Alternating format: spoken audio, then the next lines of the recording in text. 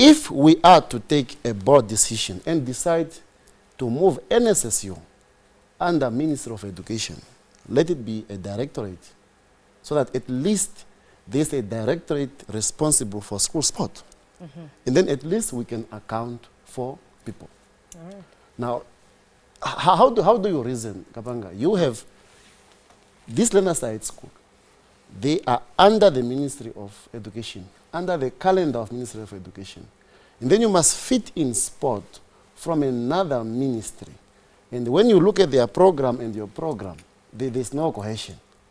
So if we can get NSSU or school sport under Ministry of Education, and then we have a direct people to link to school.